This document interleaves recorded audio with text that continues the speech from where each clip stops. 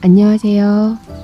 잠잘 때 만나면 마음이 편안해지는 달림 책방입니다.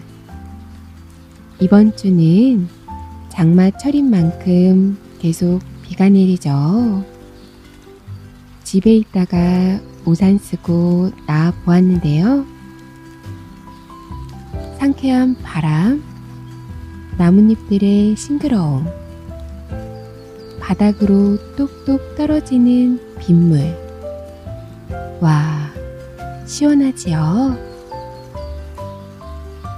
오늘도 편안한 밤, 행복한 꿈꾸며 잘 자요. 구독과 좋아요는 저에게 큰 힘이 됩니다. 늙은 어머니의 지혜 옛날에 노인들을 아주 못마땅하게 생각하는 임금님이 있었답니다. 임금님은 노인들이 힘이 없어 농사를 짓지 못하고 나란 일도 할 수 없다고 생각했지요. 늙은 부모들은 모두 산에 갖다 버려라. 그렇지 않으면 그 자식들을 벌할 것이다. 자식들은 이러지도 저러지도 못하고 씨름에 잠겼습니다. 늙은 부모들은 자식들이 애태우는 모습을 보고 자식들 몰래 산으로 들어가기도 했어요. 그 무렵 한 마을에 효성이 지극한 소년이 살고 있었습니다. 소년은 어머니를 모시고 살았어요. 어느 날 어머니가 소년에게 말했습니다. 얘야, 어서 나를 산으로 데려다 주렴. 어머니, 다시는 그런 말씀 마세요. 무슨 일이 있어도 저는 어머니를 꼭 모시고 살 거예요. 그날 밤 소녀는 어머니를 모실 수 있는 방법을 생각해 보았습니다. 먼동이 틀 때가 되자 좋은 생각이 떠올랐지요. 소녀는 잠이 든 어머니를 깨워 함께 집 뒤에 있는 동굴로 갔습니다. 어머니, 임금님이 명령을 거두실 때까지 이곳에 숨어 계세요. 어머니는 걱정스러운 얼굴로 말했습니다. 얘야, 들키면 어쩌려고 그러느냐. 제가 다 알아서 할 테니 걱정 마세요. 때 맞춰 밥을 꼭 드시고요. 소녀는 해가 뜨자마자 커다란 볕단을 짊어지고 산으로 향했습니다. 아이고, 어머니, 이 불효자를 용서하세요. 어머니를 버리러 가는 것처럼 소녀는 큰 소리로 울었어요. 그 모습을 본 마을 사람들은 혀를 끌끌 찼습니다. 전하의 효자도 임금님의 명령 앞에서는 어쩔 수 없네 그려. 아휴, 버리는 자식이나 버려지는 부모나 불쌍해서 어쩌누. 사람들은 눈물을 흘렸습니다. 얼마 후 집으로 돌아온 소녀는 몰래 어머니를 찾아갔습니다. 어머니, 반드시 좋은 날이 올 거예요. 조금만 참으세요. 그래, 내가 나 때문에 고생이 많구나. 고생이라니요. 이렇게 날마다 어머니를 뵐 수 있는 것만으로도 행복해요. 소녀는 동굴에 갈 때마다 어머니가 좋아하는 음식을 준비해 갔습니다. 하지만 동굴에서 하루 종일 숨어 있어야 하는 어머니를 생각하면 저도 모르게 눈물이 뚝뚝 떨어졌습니다. 그렇게 열흘이 지나고 석 달이 지났어요. 어머니는 시름시름 앓기 시작했습니다. 소녀는 밤새도록 어머니 곁을 떠나지 않고 정성껏 간호했어요. 어느 날 장에 간 소녀는 사람들이 웅성대며 모여 있는 것을 보았습니다. 무슨 일이에요? 중국의 황제가 사신을 통해 세 가지 문제를 냈단다. 그 문제를 풀지 못하면 우리나라의 보물을 빼앗아 간다는구나. 아직 문제를 못 풀었나요? 똑똑하다는 선비를 다 불러 모았지만 한 문제도 풀지 못했지. 문제를 모두 풀면 소원도 들어준다는데. 아, 세 가지 문제가 무엇인가요? 나는 글을 읽을 줄 모르니 저 선비에게 물어보아라. 소녀는 선비에게 가서 공손히 물었습니다. 중국 황제가 낸 세 가지 문제가 무엇인지요? 음, 첫 번째 문제는 꼬불꼬불한 길에 나 있는 구슬에 씨를 꿰는 일. 두 번째 문제는 굵기가 똑같은 나무 토막에 뿌리 쪽을 찾는 일. 세 번째 문제는 생김새와 울음소리가 똑같은 암소 중에 어미를 찾아내는 일이다. 어떠하냐? 풀수 있겠느냐? 소녀는 아무리 생각해 보아도 답이 떠오르지 않았습니다. 소녀는 그날 밤도 어머니를 찾아갔어요. 소년의 얼굴을 바라보던 어머니가 물었습니다. 얘야, 내 얼굴이 어둡구나. 무슨 일이 있느냐? 혹시 나 때문에 무슨 걱정이 생긴 게냐? 사실은 나라에 걱정거리가 있거든요. 소녀는 어머니에게 중국의 황제가 낸 문제에 대해서 말했습니다. 음, 쉽게 답을 얻을 수도 있을 것 같구나. 어머니의 말을 듣고 소녀는 어머니의 손을 꼭 잡았습니다. 어머니, 이 문제들의 답을 맞히면 어머니를 편히 모실 수 있을지도 몰라요. 그날부터 소녀는 어머니가 문제를 풀 수 있게 해달라고 신령님께 빌고 또 빌었습니다. 한편 임금님과 신하들은 몹시 초조했어요. 중국의 황제가 낸 문제를 여러 날이 흘렀지만 문제를 제대로 푼 사람이 없었거든요. 이러다 우리나라의 보물을 빼앗기고 말겠소.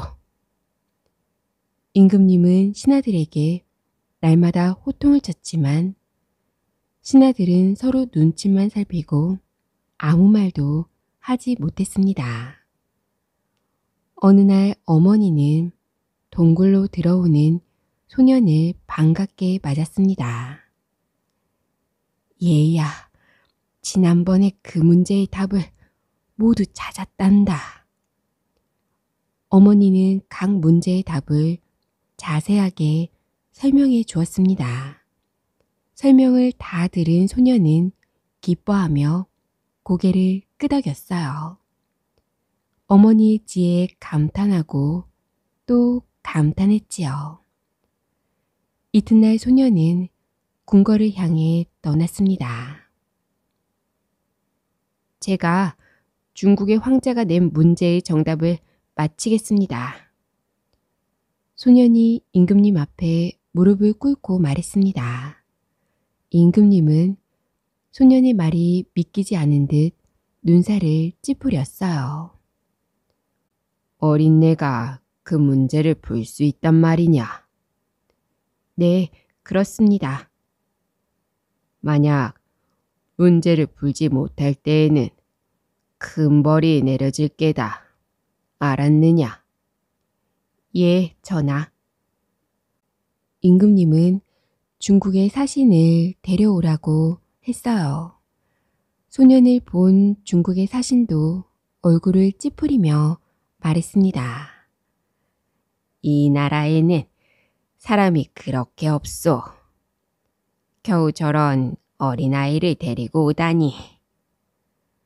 임금님은 당황해서 얼굴이 밝게져 우물쭈물 망설였습니다. 하지만 소녀는 당당하게 말했어요.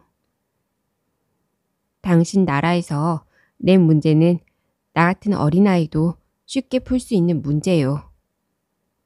좋다. 문제를 풀지 못하는 날에는 각오해야 한다.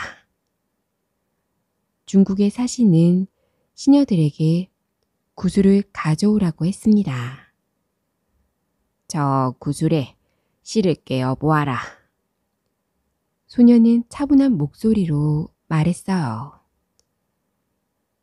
개미 한 마리와 실, 그리고 꿀을 가져다 주십시오. 소년이 말한 것들을 시녀들이 가지고 오자 소년은 개미 허리에 실을 맸습니다. 그리고 구슬의 한쪽 구멍에 꿀을 발랐지요. 실을 묶은 개미를 반대쪽 구멍에 살짝 밀어넣자 개미는 꿀 냄새를 맡고 구멍 속으로 들어갔습니다. 잠시 후 개미가 꿀을 묻힌 구멍으로 얼굴을 내미는 거였습니다. 자, 되었지요? 이 모습을 지켜보던 중국의 사신과 임금님은 고개를 끄덕였고 신하들은 기뻐서 손뼉을 쳤습니다. 이번에는 중국의 사신이 굵기가 똑같은 나무 토막을 가지고 오라 했습니다. 이 나무 토막의 뿌리가 어느 쪽이냐?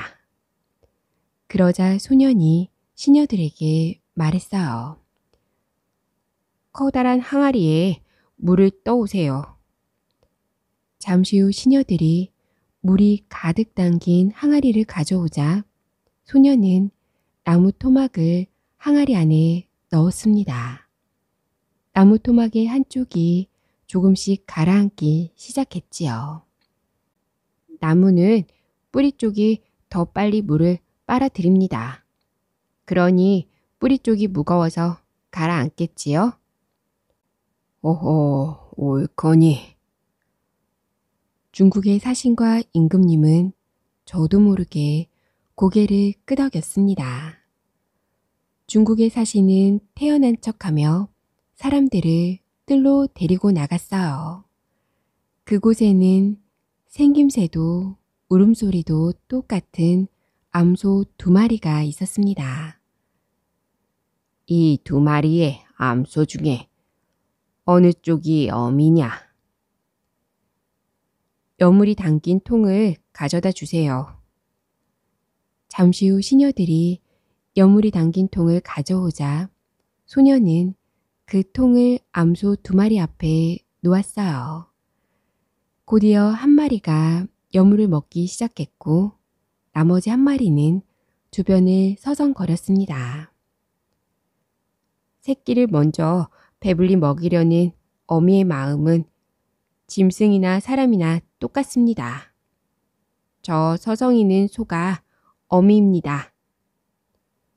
중국의 사신은 소년의 지혜에 크게 감탄했습니다. 중국의 사신은 중국으로 떠날 채비를 서둘렀어요. 그 모습을 보며 임금님이 엄하게 말했습니다. 중국으로 돌아가서 오늘 있었던 일을 황제에게 빠짐없이 전하시오. 사신이 돌아간 후 중국의 황제는 더 이상 문제를 내지 않았답니다. 임금님은 소년을 위해 잔치를 열었어요. 내 덕분에 나라의 걱정거리가 말끔히 해결되었구나. 임금님은 소년에게 소원을 말해보라고 했어요. 갑자기 소년은 무릎을 꿇고 눈물을 뚝뚝 흘렸습니다. 사실 저는 죄인이옵니다. 내가 죄인이라니 무슨 말이냐? 소년은 그동안 임금님의 명령을 어기고 어머니를 보살핀 일과 어머니가 문제의 답을 알려준 일을 털어놓았습니다. 그제야 임금님은 노인들이 쓸모없다는 생각이 잘못되었다는 것을 깨달았지요. 임금님은 곧 방방 곳곳에 명령을 내렸습니다. 앞으로 정성을 다해 늙은 부모들을 모시도록 하라. 소문난 효자와 효녀에게는 큰 상을 내릴 것이다.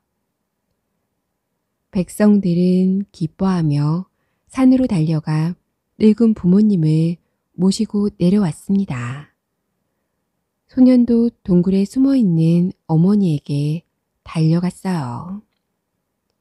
그 소년과 어머니는 오랫동안 행복하게 잘 살았답니다. 붉은 구슬, 푸른 구슬. 옛날 어느 마을에 한 형제가 살고 있었습니다. 욕심쟁이 형은 아버지 재산을 다 차지하고 부자로 살았어요. 하지만 아우는 아주 가난했답니다. 형이 살고 있는 집은 마을에서 제일 큰 기와집이었지만 아우가 사는 집은 외따로 떨어진 초가집이었습니다. 그래도 아우네 식구들은 행복했어요. 그 집에선 늘 기쁜 웃음소리가 터져 나왔습니다. 어느 해 굉장한 흉년이 들었어요. 가난한 아우네는 먹을 것이 없었어요. 엄마, 배고파요. 여보, 큰 집에 가서 뭘 좀 얻어오면 어떨까요? 가보리다. 얘들아, 조금만 기다려라. 큰아버지 댁에 가서 양식을 얻어오마. 아우는 할 수 없이 형님 댁으로 갔습니다. 형님, 먹을 게 없어서 이렇게 왔습니다. 양식을 좀 구워주세요. 나중에 농사가 잘 되면 꼭 갖겠습니다. 뭐라고? 우리도 지금 양식이 모자라서 굶어 죽게 생겼어. 어서 나가. 형은 양식이 넉넉했지만 구워주지 않았습니다. 구워주기는 커녕 큰 소리로 야단쳐서 내쫓았어요. 아우는 슬펐지요. 배고파 우는 아이들을 생각하면 가슴이 미어질 것 같았습니다. 힘없이 걸어가던 아우가 멈춰섰어요. 저만치에 보자기로 싼 조그만 꾸러미가 보였거든요. 아니, 이건 떡이잖아. 보자기를 풀어본 아우는 너무 기뻤습니다. 빨리 가서 아이들에게 먹여야지. 얼마나 좋아할까. 좋아할 아이들을 생각하니 아우는 기운이 났습니다. 고개를 넘어섰을 때였습니다. 어디선가 가냘픈 신음소리가 들려왔어요. 음, 나무 그늘에 할머니 한 분이 쓰러져 있었습니다. 할머니, 왜 그러세요? 할머니, 정신 차리세요. 여보시오. 젊은이, 날 좀 살려주구려. 저 산에서 길을 잃고 헤매다가 겨우 빠져나왔다오. 산속에서 며칠을 고생했는지, 아이고, 배고파. 그동안 아무것도 못 먹었다오. 먹을 게 있으면 좀 주구려. 할머니는 곧 죽을 것처럼 힘이 없어 보였습니다. 할머니, 그럼 이 떡이라도 드세요. 아우는 아이들에게 주려고 했던 떡을 할머니께 드렸습니다. 할머니는 그 떡을 먹고 기운을 차렸어요. 젊은이, 정말 고맙네. 젊은이가 아니었으면 난 죽었을지도 몰라. 이 은혜를 뭘로 갚는다지. 그렇지. 저 산꼭대기에 올라가면 큰 소나무가 있는데 그 나무 밑을 잘 보면 붉은 구슬과 푸른 구슬이 있을 거야. 푸른 구슬만 가져다가 마당에 던져보구려. 좋은 일이 생길 테니. 그렇지만 붉은 구슬은 만지지도 말아요. 말을 마친 할머니는 안개처럼 사라졌습니다. 보통 할머니가 아니야. 아우는 고개를 갸웃거리며 산으로 올라갔습니다. 할머니 말씀대로 큰 소나무 밑에는 붉은 구슬과 푸른 구슬이 있었어요. 붉은 구슬은 만지지 말라고 했지. 아우는 푸른 구슬만 가지고 산을 내려왔습니다. 집으로 돌아온 아우는 할머니가 시킨 대로 푸른 구슬을 마당에 던졌습니다. 그러자 갑자기 마당이 환해졌어요. 와, 보물이다. 푸른 구슬에서 보물이 쏟아진 것이었습니다. 아우는 너무나 신기해서 또 던져보았지요. 이번에는 더 좋은 보물들이 막 쏟아졌답니다. 던질 때마다 보물이 쏟아지는 신기한 구슬 덕분에 아우네는 큰 부자가 되었어요. 아우가 부자가 되었다는 소문을 듣고 욕심쟁이 형이 달려왔습니다. 아우야, 어떻게 이렇게 갑자기 부자가 되었니? 형은 꼬치꼬치 캐 물었습니다. 동생은 할머니를 만난 것부터 자세히 이야기했지요. 형은 고개를 끄덕이며 열심히 들었답니다.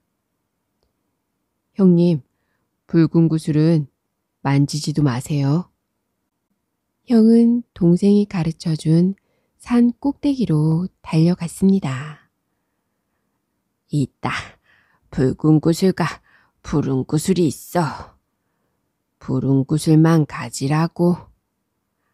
아니, 붉은 구슬에선 더 좋은 게 나올지 몰라. 형은 붉은 구슬과 푸른 구슬을 모두 가지고 산을 내려왔습니다.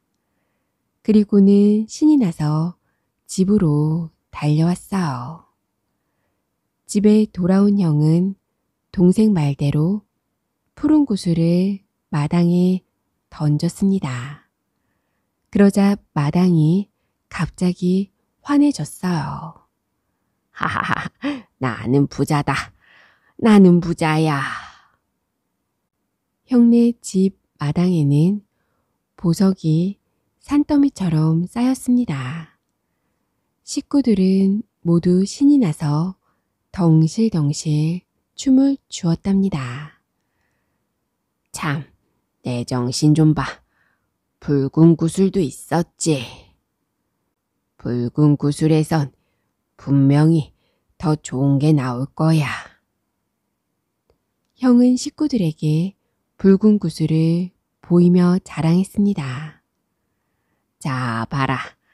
여기선 더 좋은 것들이 나올 거다. 여보, 빨리 던져보세요. 아버지, 빨리 던져보세요. 드디어 형은 붉은 구슬을 던졌어요. 아니, 저게 뭐야? 붉은 구슬에선 아주 무섭게 생긴 거인이 나타났습니다. 거인은 등에 맨 자루에다 마당의 보석들을 담기 시작했습니다. 그 자루는 담아도 담아도 끝없이 들어가는 자루인가 봐요. 눈 깜짝할 사이에 집에 있는 다른 물건까지 다 담았답니다. 그러더니 거인은 연기처럼 사라져 버렸어요. 형네 식구들은 발을 동동 굴렸습니다. 형은 하루아침에 거지가 되고 말았지요.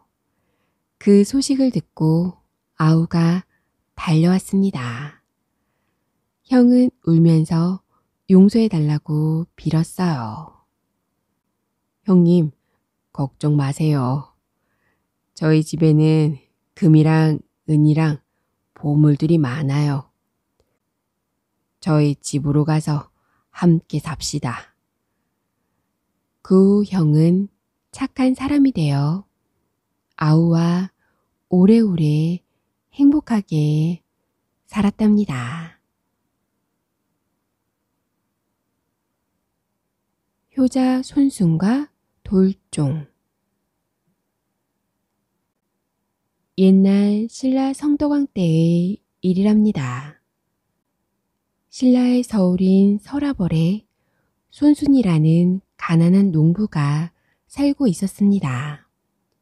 손순은 어려서 아버지를 여의고 홀어머니를 모시고 살았는데 효성이 남달리 지극하고 부지런하였어요. 그러나 물려받은 것이라고는 손바닥만한 농토뿐이라 아무리 부지런히 일해봤자 겨우 입에 풀칠이나 할 정도였답니다. 거기다가 나이가 차 결혼을 하고 아이가 생기자 살림은 더욱 어려워졌습니다. 하는 수 없이 아내가 품을 팔아 그나마 겨우겨우 살림을 꾸려갔습니다. 그런데도 손순의 요성은 한결 같았어요. 이를 본받아서인지 아내도 시어머니를 정성껏 모셨답니다. 살림 형편으로 보아서는 한 달에 한 번도 고깃국을 밥상에 올리기 힘든 처지이면서도 어머니 진지상에는 하루도 쌀밥에 고깃국을 빠뜨리는 일이 없었습니다. 세월이 흘러 순순의 아이가 태어나고 그 아이가 한두 살 나이가 들면서 문제가 생겼어요. 손자를 기여한 손순의 어머니가 아이가 걸음마를 떼기 시작하면서부터 끼니 때마다 손주를 무릎에 앉히고 이것저것 맛있는 것을 골라 먹였습니다. 그것이 버릇이 된 아이는 나이가 들어서도 끼니 때가 되면 을의 할머니 밥상에 붙어 앉아 할머니가 주시는 맛있는 반찬을 납죽납죽 받아 먹었어요. 보다 못한 나머지 손순이 아들을 타일로 쓰나 아무 소용 없었습니다.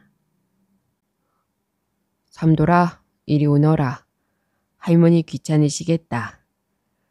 이제부터는 우리랑 함께 먹자. 그러자 어머니께서 펄쩍 뛰셨습니다. 아니다. 그냥 두어라. 하나도 안 귀찮다. 눈에 넣어도 아프지 않을 요 귀여운 녀석이 귀찮다는 게 말이 되는 소리냐? 하시면서 어머니는 삼돌이를 끌어 안으셨습니다. 어느덧 삼돌이가 다섯 살이 되었어요. 그때까지도 할머니의 밥상머리에 앉아 밥 먹는 버릇은 고쳐지지 않았어요. 맛있는 반찬을 먼저 집어 먹어 할머니가 밥을 제대로 드시지 못하는 날도 종종 있었습니다. 어느 때는 반찬뿐만 아니라 할머니 밥과 고기국까지도 몇 숟가락씩 떠먹곤 하였답니다.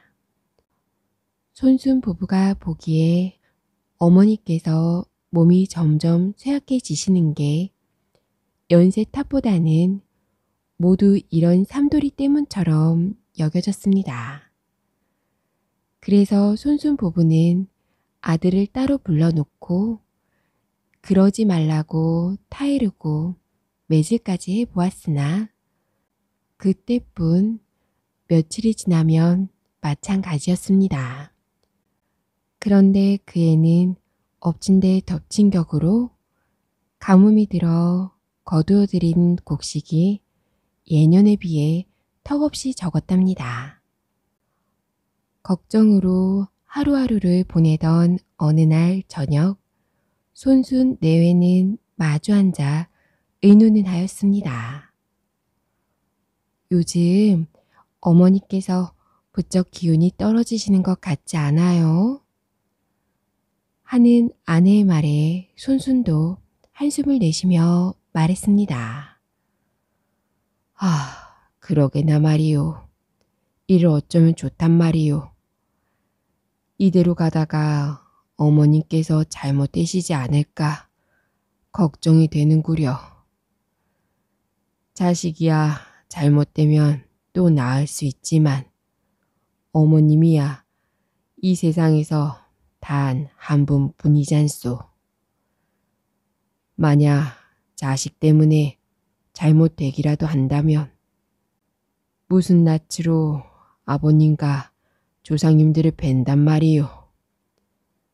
무슨 조치를 취할 수밖에. 아니, 그럼 설마 우리 삼돌이를 남편이 말한 의도를 알아챈 부인은 제대로 말을 잊지 못하였습니다.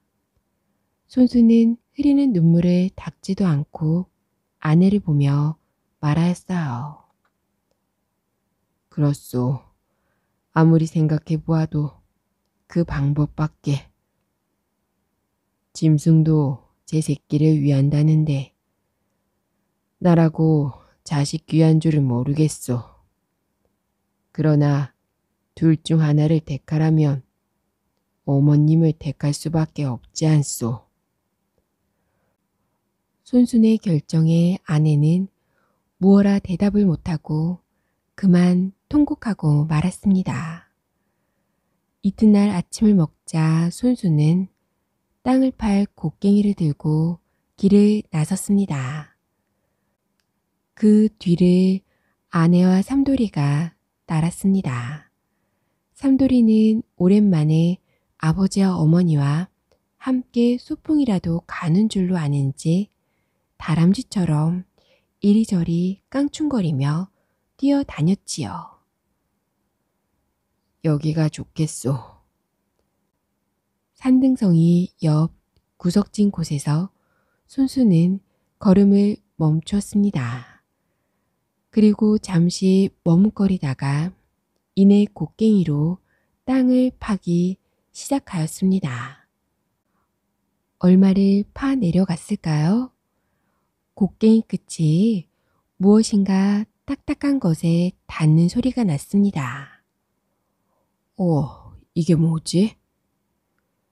손순이 조심조심 파내려가니 꼭지가 달린 제법 큰 돌이 드러났습니다. 그것은 아무래도 사람이 다듬은 것 같았습니다.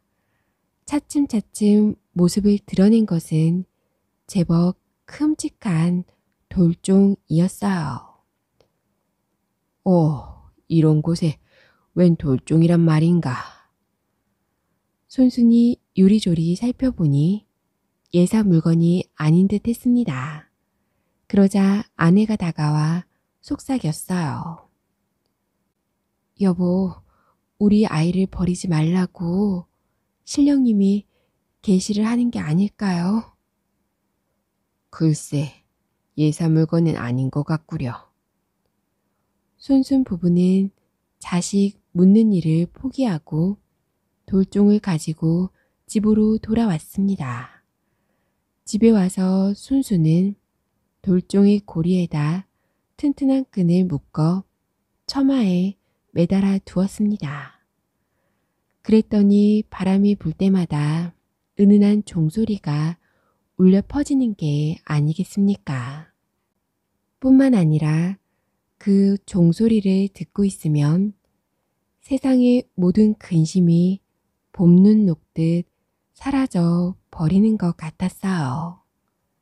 이 소문은 순식간에 온 마을로 번져 신기한 돌종을 구경 오는 사람들이 꼬리를 이었고 나중에는 고을 원님의 귀까지 들어가게 되었어요. 이 고을의 원님도 신기한 돌종을 구경하러 손순네 집에 찾아와 종소리를 듣고는 허허, 참으로 신기한 일인지고 이건 예산 물건이 아니니 임금님께 구하여야겠다. 하고는 돌아갔습니다.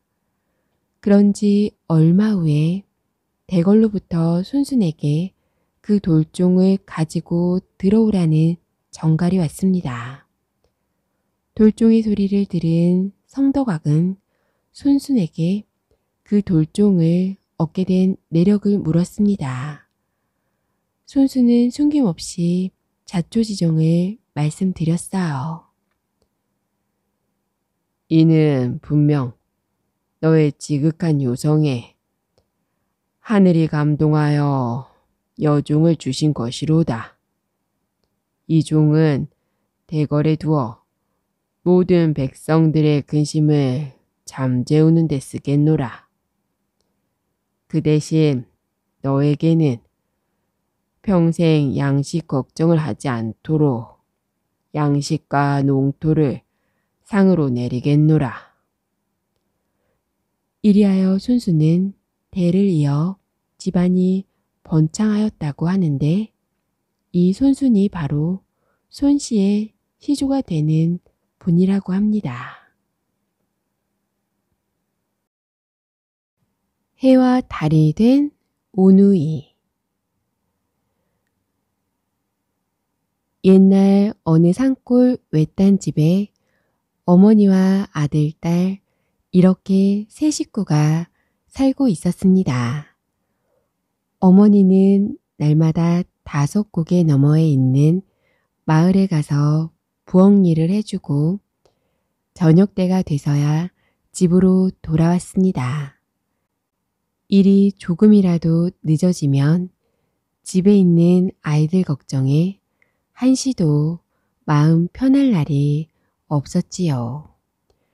어머니는 날마다 아침 일찍 아들, 딸에게 따뜻한 밥을 차려주고 떠날 때면 걱정이 되어 늘 입버릇처럼 당부했답니다. 누가 와서 문을 열어달라고 해도 그냥 열어주면 안 돼. 엄마라고 해도 손을 만져봐서 엄마 손이면 열어주어야 한다. 알았지? 어머니는 아이들의 머리를 쓰다듬어 주고 일을 하러 갔습니다. 오누이는 하루 종일 집을 지키며 놀다가 저녁이 되면 문 앞에 앉아 어머니가 돌아오시길 기다렸습니다. 어느 날이었습니다. 어두워졌는데도 어머니가 돌아오지 않았습니다. 오누이는 걱정이 되어 문 밖에 나가서 목을 빼고 기다렸지만 어머니는 오시지 않았지요. 오늘은 일이 많아 늦으신가 봐.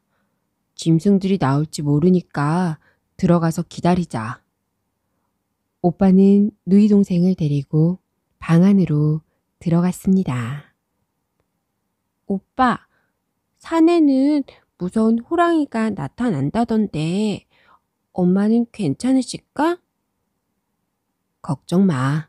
조금만 있으면 돌아오실 거야.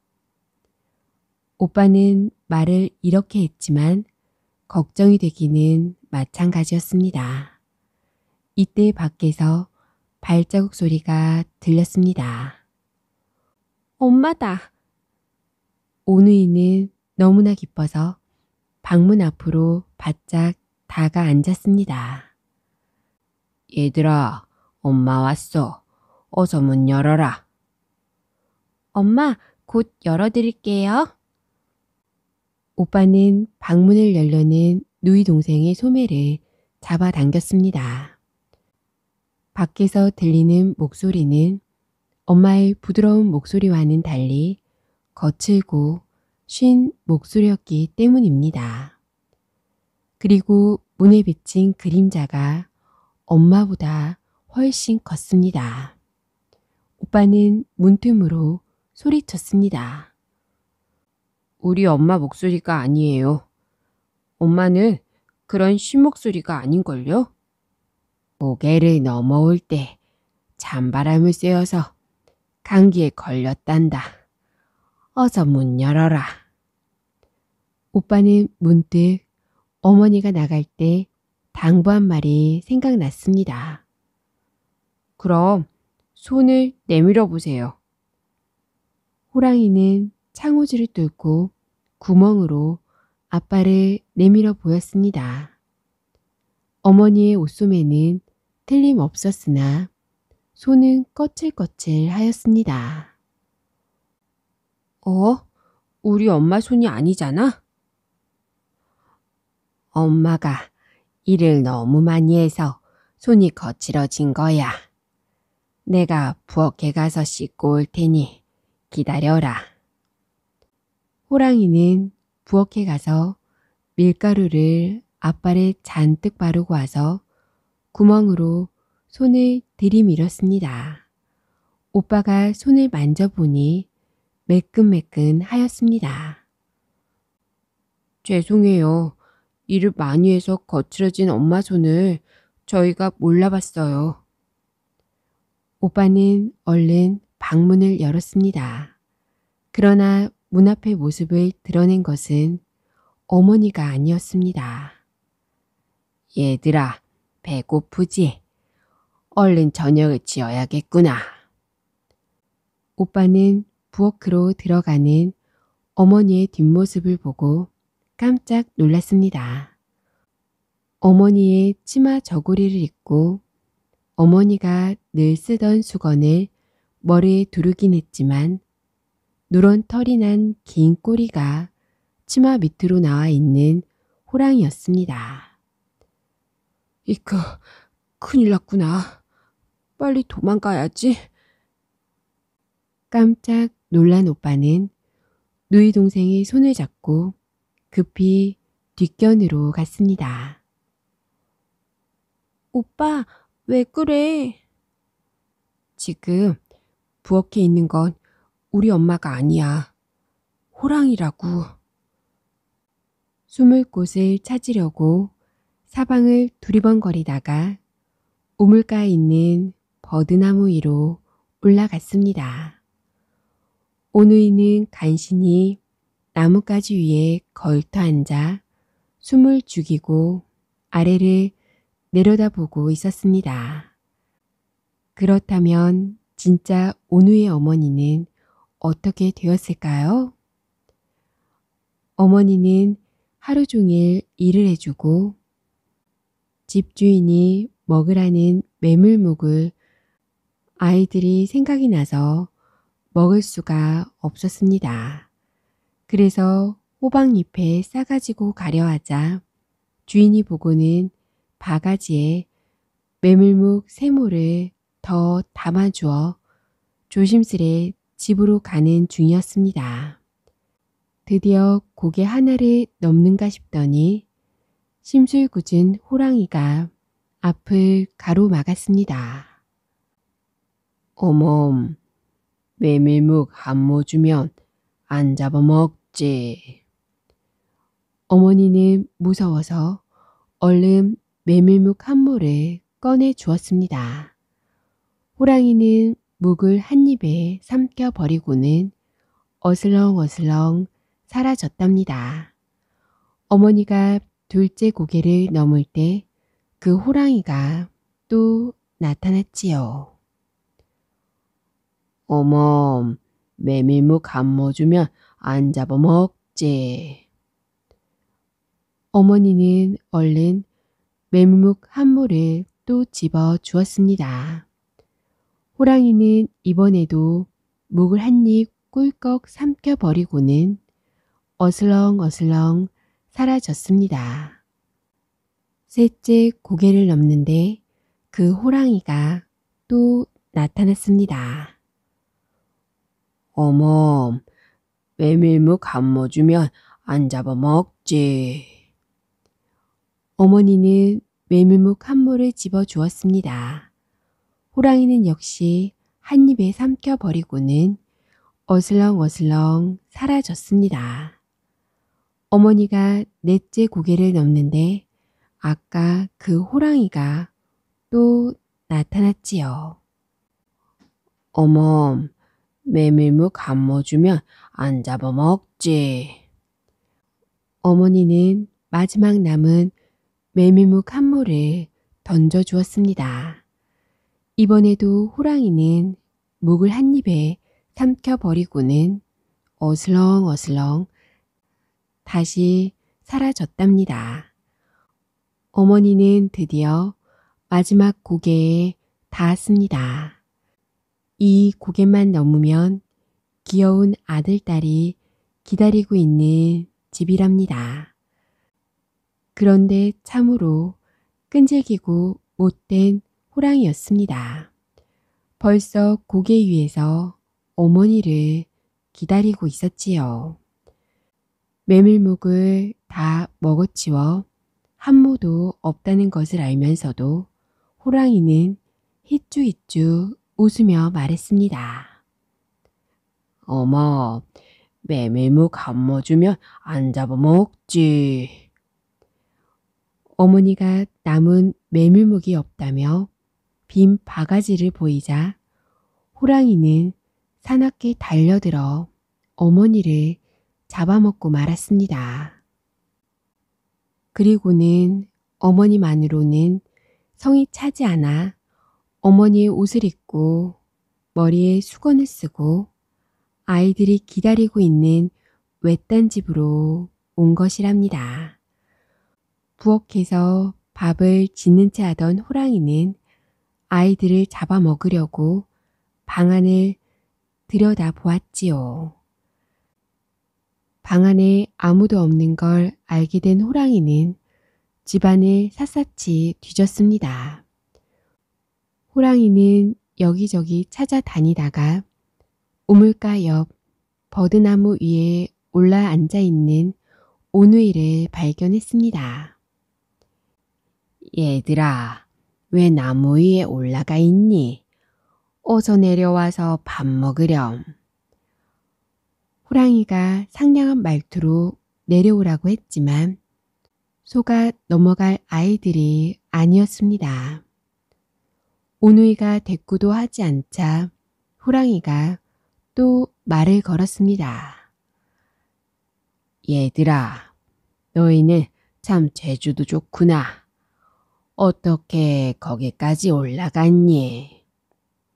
오빠는 금세 꾀를 내어 거짓말을 했습니다. 손에다 참기름을 바르고 올라왔어요. 그래. 호랑이는 부엌에 들어가서 앞발 뒷발에 참기름을 잔뜩 발랐습니다. 호랑이가 나무에 기어오르려고 했지만 너무 미끄러워 한 뼘도 오를 수가 없었습니다.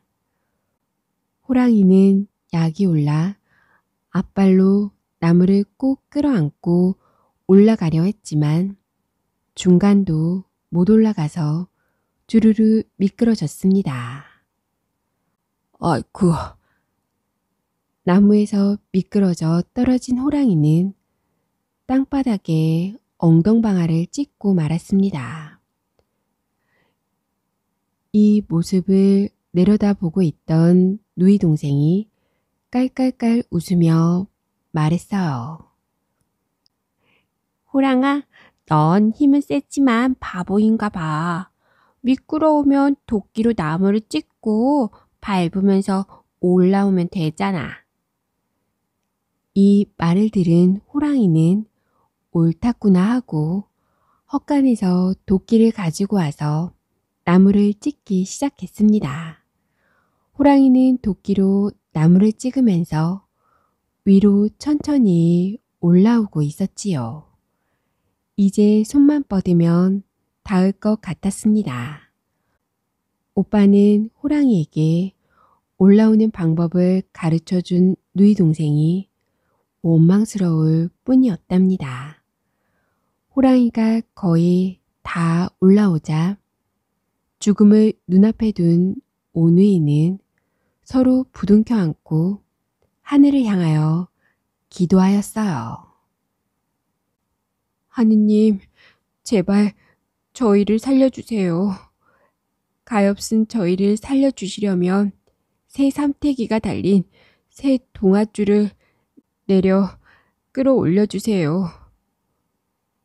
호랑이가 온우의 발 아래까지 왔을 때입니다. 하늘에서 삼태기가 달린 동아줄이 내려왔지요.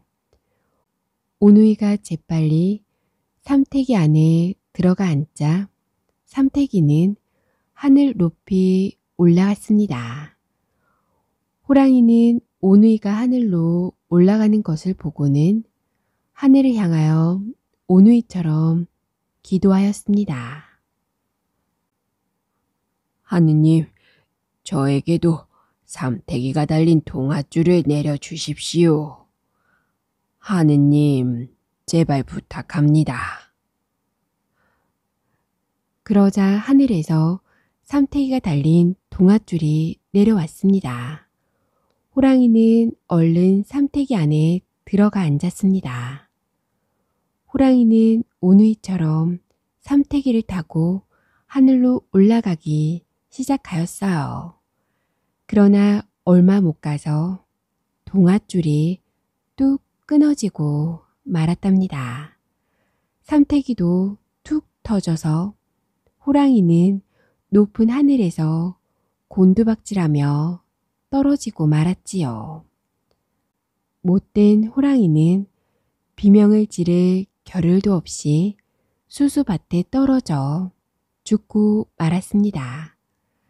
지금도 수수대가 빨간 것은 그때 수수밭에 떨어진 호랑이의 피가 묻었기 때문이랍니다. 그럼 하늘로 올라간 오누이는 어떻게 되었을까요? 먼저 하늘나라로 간 어머니를 만났을까요? 오빠는 해가 되고 누이 동생은 달이 되어 온 세상을 밝혀주는 일을 하게 되었답니다. 다만 해는 낮에만 떠 있고 달은 밤에만 떠 있어서 오누이가 함께 있지 못하는 것이 안타까울 뿐이었습니다. 하루는 누이 동생이 오빠에게 부탁했어요. 오빠, 난 어두운 밤하늘을 떠다니는 게 싫어. 무섭단 말이야. 해가 되고 싶어. 마음씨 착한 오빠는 누이 동생이 가엾어 해가 되게 하고 자기는 달이 되었답니다. 해가 된 누이 동생은 밝은 세상을 떠다니는 것이 무섭지는 않았으나 세상 사람들이 환한 자기 얼굴을 쳐다보는 것이 무척 부끄러웠어요. 그래서 눈부신 햇빛을 쏘아보내어 사람들이 쳐다보지 못하게 하였답니다. 그리고 호랑이에게 잡아먹힌 어머니는 하늘로 올라가 구름이 되었습니다. 사람들이 해와 달을 쳐다보면 부끄러울까봐 살짝 가려주기도 하면서 항상 지켜보고 있답니다. 지금도 낮이나 밤이나 쉬지 않고 하늘을 떠다니며 사랑하는 아들과 딸이 잘 있는지 살펴보고 있다는 이야기랍니다.